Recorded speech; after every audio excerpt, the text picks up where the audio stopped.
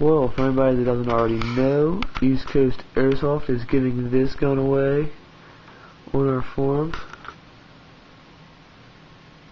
It says spring operated model, but it's electric. Pretty nice. Desert Eagle.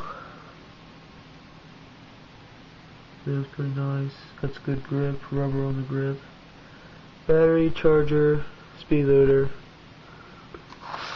Shoots pretty good. That's semi. This is auto. Or wrong way.